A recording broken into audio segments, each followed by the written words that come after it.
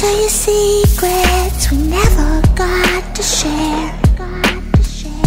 If I could pull the letters and words from this page, I could finally realize.